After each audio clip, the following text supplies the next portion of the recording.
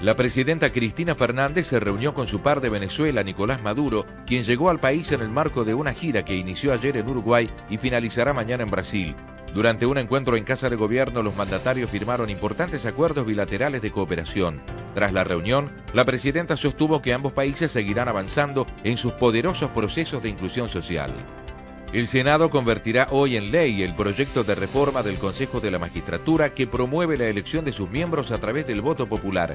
El ministro Alberto Sileoni presentó las principales políticas de evaluación del sistema educativo para todos los niveles de escolaridad.